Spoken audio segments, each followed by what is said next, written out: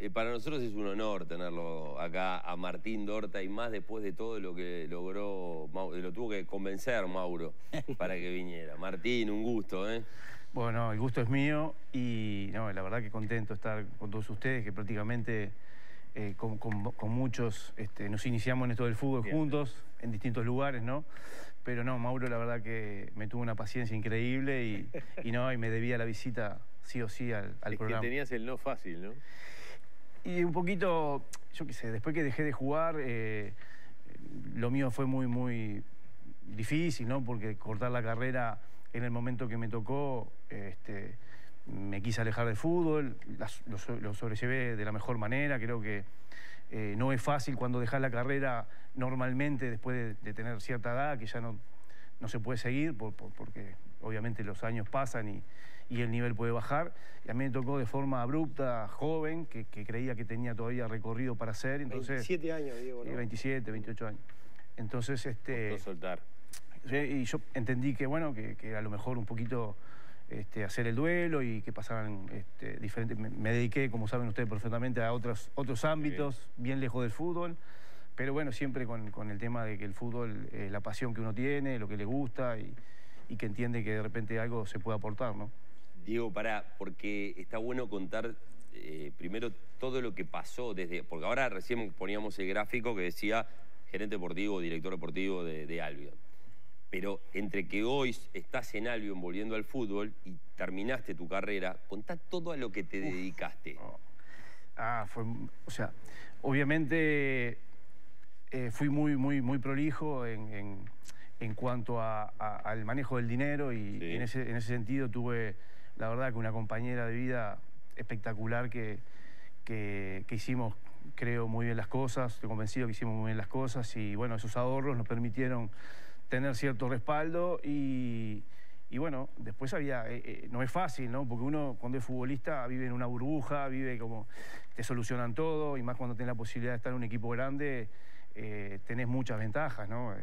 y es difícil después salir a, a la realidad de cualquier uruguayo, cualquier mortal, a, buscar este trabajo, este, muchas veces te ven, eh, ¿y este qué hace? Y, cómo está acá? Entonces, bueno, eh, pero la realidad indicaba que había que salir adelante con dos hijos, dos hijos chicos, y bueno, este, y la verdad que hice todo. Pero contá, contá alguna. Tenías un, salón de, un, salón de, esa fue, años de ah, esa fue una jugada grande, importante, porque ahí invertimos fuerte, compramos una casa, la reciclamos y tuvimos ocho años ese emprendimiento que no fue bárbaro. La verdad que este, eh, todos ustedes nos ayudaron con la promoción y la visita. Yo festejé un cumpleaños de Francia. Sí, sí, sí. Este, Federico Buizán también, la verdad que le tengo que agradecer porque también fue importante. El primer cumpleaños lo hicimos con el hijo de con Joaquín, el hijo de él.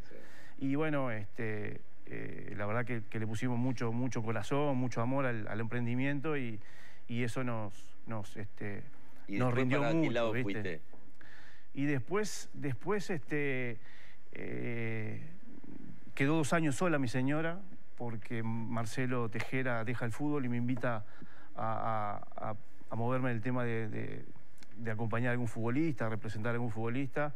Ahí se, asoció con Pablo Boselli y ahí bueno, tuvimos un, arranque con, este, con el tema de jugadores y, y bueno, después eso se disolvió, seguí por las mías y bueno, y ahora me tocó me tocó esta posibilidad eh, junto a, Marco Cusumano, que es un amigo que hace muchos años que viene, un italiano, un italiano que, que junto a su tío Vincenzo Di Ippolito llevaron muchos futbolistas a Italia y, bueno, eh, hizo la conexión con el, con el americano que es el dueño de, Albion y me invitó a participar este, haciendo algún tipo de asesoramiento y, y bueno, no cuadraron ciertas cosas en el club y hace 15, 20 días este, me propusieron ser director deportivo y bueno, estamos en ese viaje. Pero Diego, eh, porque antes de hablar de este presente, porque mucha gente no sabe, capaz que mucha, mucha gente joven, vos, te tuviste que retirar a los 27, 28 años, siendo un jugador top, ¿no? Vamos, a hablar claro. Sos campeón de América con Uruguay, sos, parte del quinqueño de Peñarol, o sea, eh, jugaste en Independiente, digo, tuviste una carrera hasta que y hubieses tenido seguramente una carrera mucho más importante. Pero esa lesión, la manera que te tuviste que retirar, te, te llevó a que no querías saber nada con el fútbol? O sea, eh, como que el fútbol todo era culpable en algún momento para vos. No, eh, o sea, yo no le, sé- no le echo la culpa a nadie, sinceramente. ¿Recordás co- la lesión que tuviste la- o las lesiones? Yo tuve una única lesión que fue en el tendón de Aquiles. El tendón de Aquiles de la pierna izquierda, que se hizo una, una lesión crónica, una tendinitis que, que por no tomar, de repente seguir jugando, seguir este, eh, queriendo este, no, no, no, no abandonar, este, eh, en determinados momentos se fue agravando hasta que se me hizo crónica, como te decía, se me engrosó mucho y, y bueno, llegó el punto que, que me producía, al, al no correr de la mejor manera, diferentes situaciones de, desgarritos parte en otra parte del cuerpo. así me voy a Independiente y en Independiente increíble, ¿no? Porque llegó, llegó después de, de haber salido campeón de América con Uruguay, un viaje que hacemos en China con Peñarol y, y vuelvo con una lesión en el, en el gemelo de esa misma pierna y llego a Independiente con, con Paco Gasal, con Gabriel Alves y estoy 20 días recuperándome la lesión. Una vergüenza tenía yo. Corriendo alrededor de la cancha, recuperándome con, con un montón de fenómenos que había ahí en el club. Este, con Burruchaga, Clausen, Mondragón, bueno, infinidad de jugadores importantes. Y bueno, ahí me voy acomodando este, hasta que gano, me gano el, lugar. Pero bueno, seguía con el problema del Aquiles, me infiltro, me anestesio y esto y el otro. Y bueno, me provocó la rotura definitiva que me llevó a que me tenga que operar. Me operé dos veces, este, no salieron bien, este, hasta que tuve que recurrir a Estados Unidos para buscar una solución definitiva que, que, bueno, que en algún momento eh, tuve que, junto al doctor Riens y el médico de Peñarol, tomar la, la decisión de que para tener una calidad de vida mejor eh, el resto de, de los años, este, no era conveniente seguir insistiendo y bueno, ahí pasamos, pasamos raya Qué y bravo, tuvimos que sí, abandonar. Sí, pero lo que pasa es que yo desde que daba el primer paso y me levantaba de la cama hasta que me acostaba Todo el día. todo Dolor. el día con el dolor, ¿viste? Claro. Y llegaba un momento que jugaba incluso con, ese dolor, contra el estado físico mío que no era el mejor, contra el rival, entonces era mucha ventaja que daba y en algún punto la tranquilidad mía es que hice todo, todo, todo lo posible este, para recuperarme, o sea, no me guardé absolutamente nada. Este, ahí hubo mucha gente que me ayudó, este, que recuerdo, se me viene rápidamente a la mente, como Gregorio Pérez, que iba con un médico en La Plata que era muy bueno, que tenía experiencia en el tema, y Gregorio me recibía toda la semana en la casa de él, yo entrenaba, me volvía, hacía travesías, hacía, pues me iba hasta Colonia, de Colonia me tomaba el barco, me bajaban en, en buquebús en Buenos Aires, me iba a Retiro, un, bus hasta La Plata, me quedaba toda la semana y así de vuelta para atrás, y nada, tremendo. Y bueno, entonces este, me saqué una mochila, dejé el, fútbol y bueno, la vida continúa. Para que tenemos algunos recuerdos para ir compartiendo y, me, y mechando también con, con cada una de las preguntas que todos le queremos hacer a, a Martín, pero la carrera de él, eh, él forma parte del segundo quinquenio de Peñarol. Y aparte vos quedaste marcado también porque en el último partido del primer campeonato uruguayo que gana Peñarol, vos pusiste tu cuotita. Vamos a esa, a esa imagen. Esto pasó en el año 93. 93. Un estadio centenario que estaba repleto. Había un partido que se jugaba a la misma hora, se te- tenía, tenía que eh, jugarse a la misma hora. No me acuerdo cuál era el otro partido. ¿Vos, Diego, te Eh, acordás? de- defensor era, defensor en el Francini. Sí, demoraron Y- en y- entrar ustedes. Y sí, había muchas mascotitas, mucha gente. Eh, y se demoró la entrada, el inicio del partido. Era. Sí, estaba que explotaba. Una, una locura fue. Una locura. Pasa que hacía, hacía muchos años, siete, ocho años que Peñarol no salía campeón uruguayo y había mucha, mucha avidez, ¿no? Por, por, por volver a, a ganar. Bueno, y ahí, un- una vez más, Gregorio en tu, en tu vida. O sea, Gregorio en tu vida tiene un montón de capítulos. Sí, no, Gregorio, Gregorio ya con, con 16 años me llevó un- a un sudamericano sub-19 que era en su momento, confió en mí y, y la verdad que, que sí, que Gregorio, este, alguien muy especial, bueno, todos lo conocemos en el ambiente del fútbol, sabemos qué clase de persona es, este, muy, muy paternal, este, que realmente le llega al jugador lo más íntimo y el futbolista se, esfuerza al máximo para, para devolverle todo lo que, lo que él te da. Y fue fundamental porque yo llegué en el año 89 a Peñarol y Peñarol venía complicado institucionalmente, venía con muchos problemas. Y vino el contador Damiani, vino Gregorio, se una con los jóvenes que él entendió que tenían que seguir, más determinados jugadores, armó una columna vertebral con el Tano Gutiérrez, el Choco Perdomo, Mario Saralegui, el Pollo Vidal. Y eso sostuvieron un poco la columna de, de, de- de Peñarol, ¿no? que, que es un poco, creo que, que lo fundamental para un equipo grande, no tener esa, esa columna vertebral, esa, esa base de jugadores importantes que le da la confianza a los más. Yo en mi caso era más, Era joven. era un poquito era- más, sí, joven, pero había otros chicos más jóvenes que estaban apareciendo y, y se necesita, ¿no? Un equipo grande no es fácil, la camiseta realmente pesa cuando no salen las cosas y uno lo ve hoy en día, ¿no? Que, que, que realmente este, eh, hay, hay que encontrar esos futbolistas que, que sostengan un poco al, al equipo. Con el paso del tiempo, ¿te considerás un innovador? ¿Viste todo lo que hace un 5 hoy, no? O un pistón en el doble 5. Vos, vos en esa época, estamos hablando inicio de los 90, cortabas el juego, pasabas bien, relevabas, transportabas con la pelota y no era, no era tan común. ¿Se acuerdan cuando explotó Fernando Redondo en Argentina? No, no. Era, era todo nuevo. O sea, Y, y sí, somos medios contemporáneos. A mí, me, a mí siempre me gustó, o sea, a mí me gustaba, obviamente como nos pasaba a todos nosotros, éramos muy, muy, yo creo que éramos muy fanáticos de ver fútbol argentino, ¿no? Mm. Eh, se- se- con, con muchas ganas se esperaba el día de, de ver fútbol argentino y, y el fútbol argentino siempre tenía esos, esos cinco que, que, que eran el primer pase, armaban el fútbol, un Marangoni, un Checho Batista en Argentino Junior, eh, todos los gallegos, diferentes características, pero bueno, sobre todo este, Batista y, Marangoni eran futbolistas que desde sus pies se iniciaba el, juego del equipo, ¿no? A mí siempre me gustó eso, después Fernando Redondo también coincidíamos mucho en, en- en- eh, casi en edad y bueno, también fue un, referente y, y uno lo que quería, sí, me gustaba, me gustaba tener la pelota. Yo creo que, y más el equipo grande necesita el- el primer pase, el jugador que, que el, que el zaguero lo vea y enseguida lo, lo- lo asista y desde ahí, viste, si empiezan a saltear esa zona se hace complicado, ¿no? El equipo grande tiene que tener jugador de buen pie, que sea el, el inicio de las jugadas. Y de hoy, jugadores de hoy, con, que, que para los que no te vieron, que puedan decir, este era parecido a mí. No, ¿O es pareci- parecido es, difícil, ¿no? Pero con Difícil. características Pero a mí me gusta, me gusta, me gusta un, un Rodrigo Bentancur, es un, es un, es- es un monstruo, es un crack. Este, Valverde también, que con los años va a ser un volante medio, donde la pelota tenga que pasar sí o sí por él. Y son esas características, ¿no? Vecino de repente es un poco más, más simple, de, de apoyo, pero eh, en Bentancur, en, en Valverde, creo que está un poco eh, el mediocampo que sería ideal moderno de hoy en día, ¿Cómo ¿no? hubieras jugado Este, con un doble 5 vos? ¿Cómo, cómo? ¿Cómo hubieras jugado con un doble 5?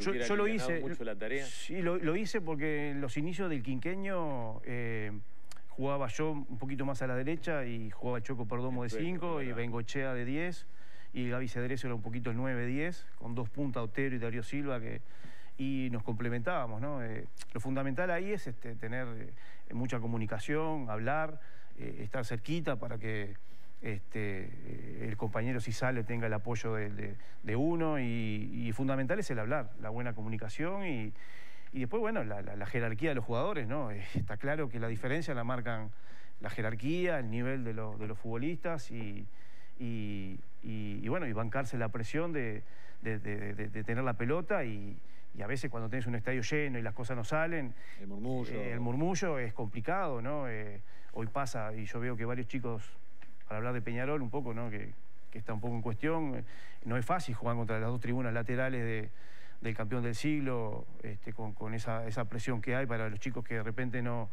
no, no tienen muchos partidos encima. Y, y bueno, eso es un poco lo que hay que entender y tratar de encontrar ese jugador que tenga esa personalidad para sobrellevar todo eso pero necesitas tiempo, ¿no? Necesitas tiempo, porque Torres no fue de un día para el otro, Torres fue un proceso y hasta que, bueno, terminó siendo desnivelante, pero le llevó su tiempo. Entonces, todos estos chicos, hay tres, cuatro chicos de- que pueden ser excelentes extremos, pero hay que bancarlos más. Hay más para mostrar porque hiciste goles también, más allá del lugar de la cancha donde jugaste.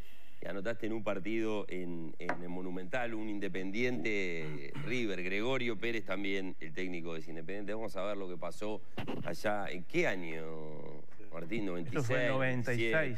sí, una supercopa contra... Esa supercopa salimos campeones con Independiente año 96. Mirá cómo Este, definías. Ahí sí, nos equivocamos. Eh, El Toro Acuña. un cuadrazo. Ah, un Toro cuadrazo. Acuña, mirá vos. Cuadra- Bueno, el Gaby Alves jugaba también en Jugaba cuadro. Mazzoni, Gustavo López. Sí, un gran cuadro el medio. independiente. el Un gran cuadro. Tura Acuña, Burruchaga, Caña. Vos fuiste Este, compañero de Cassini también, ¿no? Raúl era suplente ahí. Ah, mirá, claro. Raúl este, después vino, después de Gregorio vino Menotti, este, vino Menotti y, jugaba yo, hasta que un momento, me acuerdo, un partido, eh, asume, Men- asume Menotti y, empiezo a jugar yo, vamos de pretemporada a Mar del Plata, juego yo, volvemos, arrancamos el campeonato. Y un partido en cancha de ferro que ganamos, ganamos también, 2, 3 a 0, no, recuerdo bien. Termina el partido y, estaba muerto de dolor, muerto de dolor. Y le dije que, ta, que iba, iba a parar y que venía a Montevideo a hacer una consulta y quería, quería operarme o solucionar el tema porque no, no, no, no podía seguir de esa manera. Y ahí, bueno, le doy el lugar a Cassini y Cassini hace la carrera que él hace. Pero Características muy distintas, ¿no? Pero Raúl era muy, muy práctico. Claro. Raúl yo creo que, este, que es lo fundamental del fútbol, hacerlo difícil, fácil, eh, conocer tus limitaciones. Y él creo que era un- era, sabía que tenía que desprenderse rápido de la pelota, dársela al más cerca Lógico. y con eso hizo la carrera, ¿no? Tenemos Eh, otro eh, gol tuyo. deja- antes de mostrar ese gol, ¿me dejás mostrar una cosa? Sí, sí, Porque sí. hoy hablaban de, de que hace tiempo que se conocían, de, de mucho tiempo que tenemos relación, vínculos. Vamos a ver a Charquero Muy 20 cortito años es atrás y a Dorta 20 años atrás. Miren, miren esta nota que hizo Martín. Salir campeón con Peñarol creo que, que es el sueño de cualquier jugador. Y bueno, y de la forma ¿no? que, que hubo que luchar hasta, hasta el último minuto. No, la verdad que primero Lo que, primero que se me ocurre los dos con mucho pelo. ¿eh? no, mucho pelo y al lado, que cara a cara, que esto Pero esas eran las notas dentro del Claro. vestuario. del vestuario. Dentro del vestuario. Otros tiempos, la verdad que sí, que otra... 93 tiene. No había. COVID, no había problema. No, Martín, eso es 93 campeón pe- pegado al partido este que vimos Claro. del gol de Diego. Seguramente, sí, Cerro. seguramente. No, otros tiempos. Yo creo que había otra, otras relaciones. El futbolista tenía más, más intercambio con el periodismo. Creo que la gente también lo valoraba, ¿no? El público, creo que hoy, hoy se ve poco hablar a los, jugadores. No sé Bueno, si. antes que Martín entrara a los vestuarios, entraba yo y había, había te recibían de, Sí, de sí. la mejor manera, hacíamos el antes, de, el Sí, famoso sí. antes del fútbol. Y se generaba otro diálogo, sin tanto drama. No, pero Exacto. hoy, hoy los periodistas no conocemos los vestuarios. No. Los vestuarios no podemos Sí, sí. entrar. No, no, cambió Sí. todo. No, y, se- y también eh, se escucha más, que, que- que es algo que, yo que sé, se escucha mucho más este, al- a, a dirigentes A y, dirigentes. Sí, y claro. gente, y todos los días tenemos un problema distinto, son figuras más los dirigentes que, los eso porque los futbolistas. jugadores lo- eh, lo- lo- indirectamente eh, hacen, eh, lograron eso los jugadores. Claro. Porque no si quieren hablar, menos, se debe no el quieren terreno hablar. ese. Muchos no No hablan. Es difícil hablar con los Es jugadores. una lástima, pero es así. Pero también no es, no es, por ejemplo, los clubes grandes no es que, que hay No, no, claro. todo el tema de prensa. Claro, eh, ahí que- hay que- secretario de prensa. Hoy queríamos hablar con algunos jugadores nacional, por ejemplo, y no, no tuvimos la suerte. Es- Pero, Y bueno, es- pero entendé que digo que a veces esa es un poco la explicación de lo que vos decís, de verdad. ¿Por qué tanto dirigente? se- se- yo qué sé, yo como, como hincha de fútbol y, y- y sé que un montón de gente que está Uno quisiera ver más jugadores de fútbol Claro, o, o entrenadores y no que sean figuras dirigentes de, dirigentes de fútbol, ¿viste? Que, que muchos lo hacen con buenas intenciones, pero sabemos que después hay muchos que buscan réditos personales, yo que sé, hay muchos intereses de por medio. Entonces me parece que necesitamos ver más fútbol, saber más de fútbol, que hablen los jugadores, los protagonistas. Por eso yo salí un poco, porque tienen que hablar los que juegan.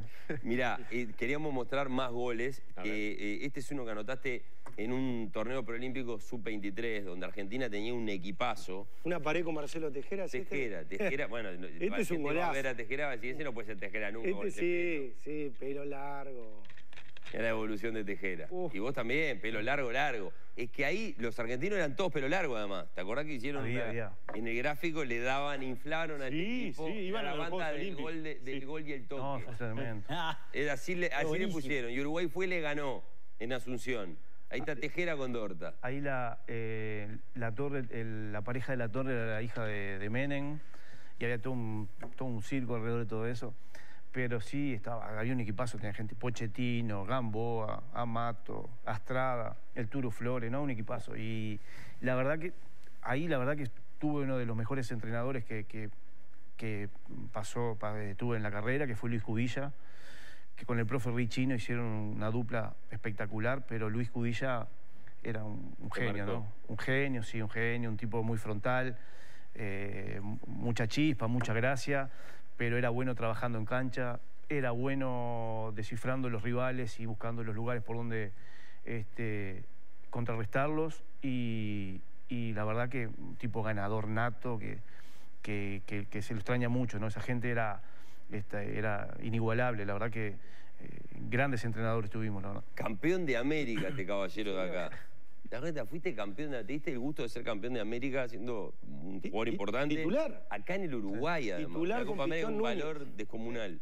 y su- sufriendo, ¿eh? o sea, fue un poco todo a partir de, de- de- de- no recuerdo bien qué año, pero más o menos por ahí, 94, 95, fue que arranqué con el tema del, del tendón de Aquiles y por eso tengo el, el 21, porque yo hice toda la recuperación con el profe Rosano, que era asistente del profe Tejera, que era el principal, y, y, y bueno, entrenaba, entrenaba aparte porque yo había tenido en una gira que hicimos, jugamos en, en Wembley contra Inglaterra, después fuimos a, a Belgrado a jugar con Yugoslavia y ahí me hago un, un tinoncito en el autor este, importante y, y bueno, tuve que hacer toda la rehabilitación, en, o sea, toda la inauguración de todos los estadios que recorrimos este, en el Sí. interior.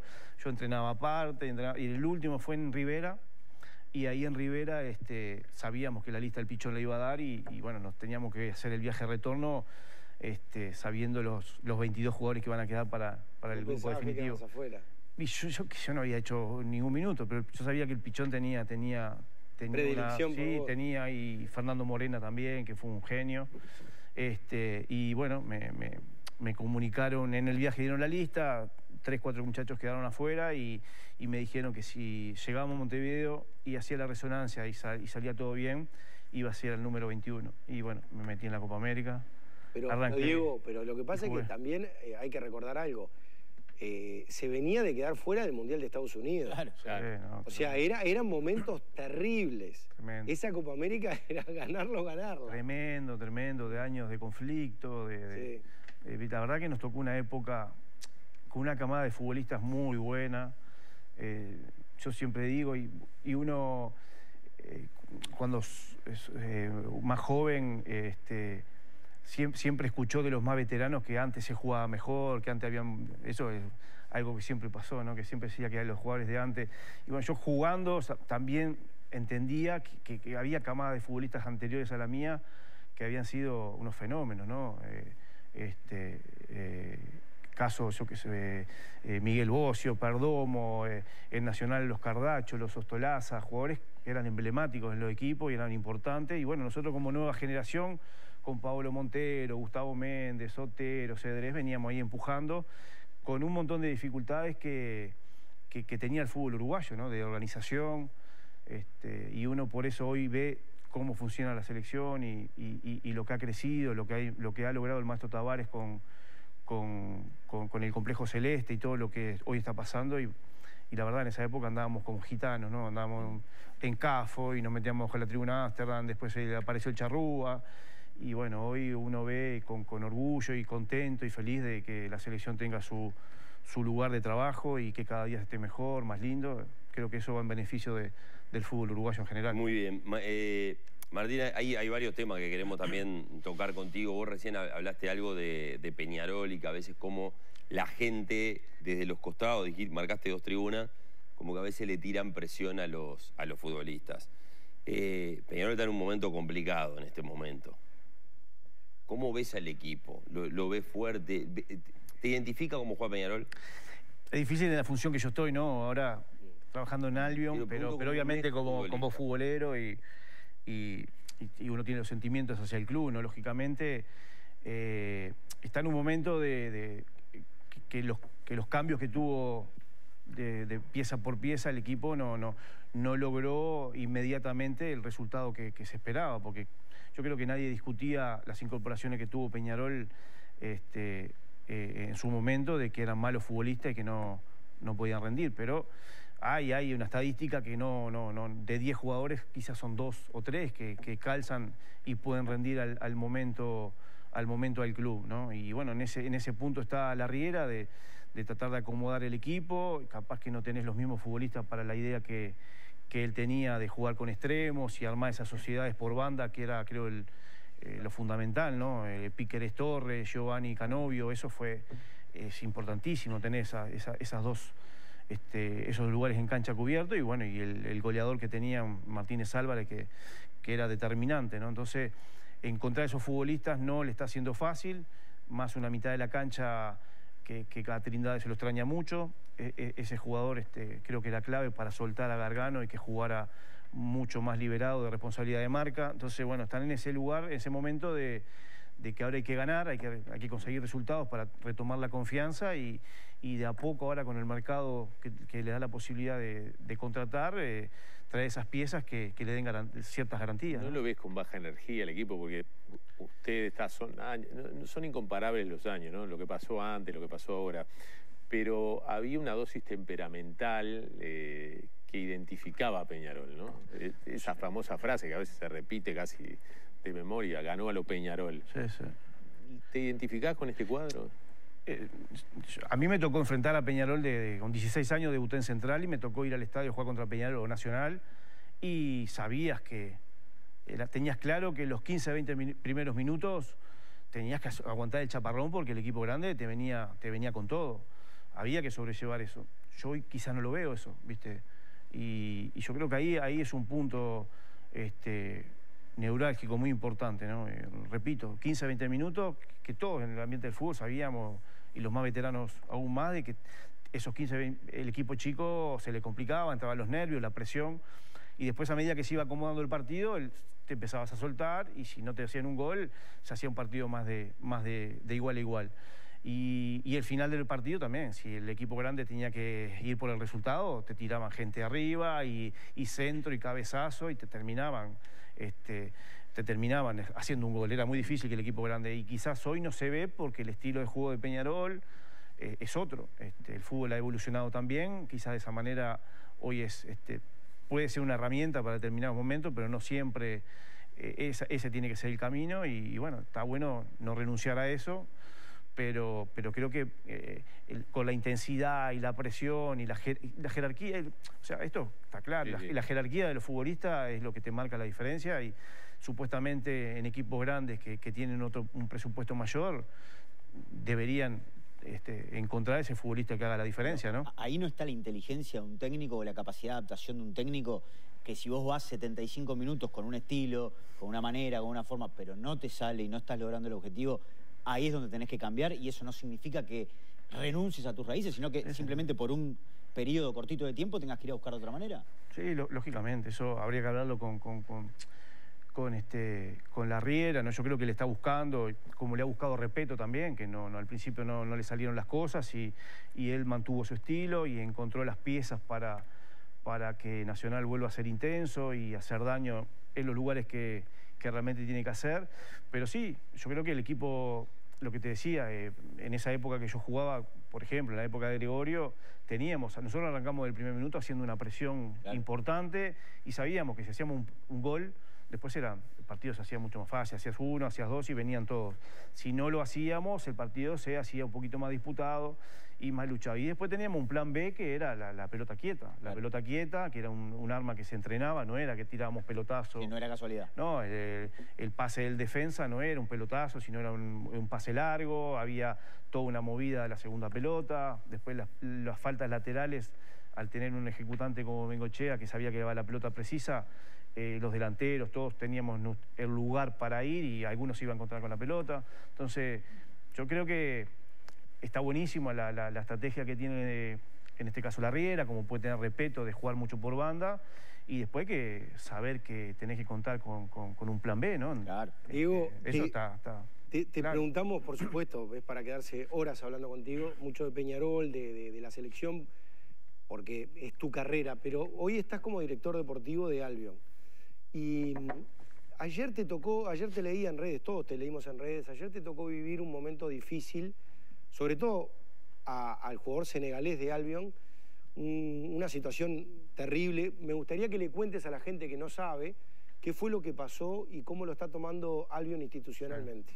Sí, la verdad que el tema de Usman es un senegalés que, que hace tres, eh, cuatro años llegó a Argentina, jugó en Lanús, llegó a la forma a cuarta división, después jugó en tercera división, debutó en el primero de Lanús y, con la recomendación de Lucas Alessandría, el, asistente de Nacho Rizzo en el, primer equipo, este, nos comentó de, la posibilidad de Usman y la verdad que eh, no estamos arrepentidos para nada de su llegada porque es un ejemplo de vida, la verdad que es increíble su historia, el, el poder de adaptación que ha tenido a Buenos Aires, tuvo seis meses encerrado en pandemia, eh, ahí aprendió el idioma, habla perfecto español y, la integración que tuvo desde el primer día acá en Albion fue increíble, ¿no? Este, es súper querido por los compañeros, siempre positivo, este, e- es, un ejemplo, ¿no? Por justamente todo lo que decía. De, la adaptación que ha tenido a, mundos totalmente diferentes a lo que está acostumbrado en, África, en su país. Y, y la verdad que es súper respetuoso y yo estaba como toda la gente de Albion del otro lado, no, no, no lo apreciamos directamente porque hubo un- a la salida de la cancha el túnel es, este, es, muy, muy chico y se, se armó ahí una, alguna discusión que no pasó mayores y en Don eh, Usman quedó del otro lado cerca de Jimmy Álvarez, ¿no? el cuarto árbitro y, aparte eh, Usman entró 5 o 10 minutos, no es que Partido Albion Wander. Albion. Wander ayer de mañana. No es que Usman provocó alguna situación para, para- para provocar que, que- que algún hincha se la tomara con él. Simplemente quedó en ese lado de la cancha esperando que se desactivara ahí ese problema para, para meterse en el túnel. Y ahí es donde, donde se la agarraron con él, en- se ensañaron por lo que me dice Usman, por lo que me dijo Jimmy Álvarez, por lo que dijeron los compañeros, se ensañaron en insultos de todo tipo.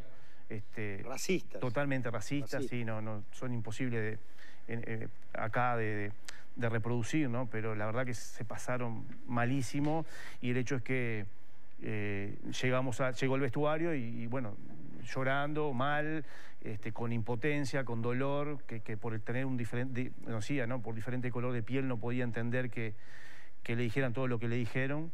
Y bueno, ahí los compañeros, que, que la verdad que es un gesto, Santiago Correa y como capitán y todos los compañeros, la verdad que se solidarizaron enseguida, empezaron a mover todo, este, nos enteramos más del tema, eh, yo como representante del club, eh, el abogado nuestro, el área de comunicación, el Piojo Pérez este, por la mutual de futbolistas y ahí activamos enseguida lo que podíamos hacer más rápido, que es este, ponerlo, ponerlo en conocimiento de- del público en general. Y bueno, ahora está un poco en mano de Usman, te- tiene, como es lógico, toda la, la estructura del club para, asesorarse con, nuestro abogado, que ya estuvo hablando con él, y, bueno, seguir los caminos que, se quieran, este, que lo quiera hacer, lógicamente, si quiere dejarlo por acá o seguir este, hasta las últimas consecuencias, pero es un hecho que no, puede pasar desapercibido, ¿no? Porque este, con todo lo que se está luchando, no solamente por el racismo, con, la igualdad de género, con, todo, tipo de violencia. Este, me parece que es un hecho que hay que, desterrarlo de una, de una buena vez por todas.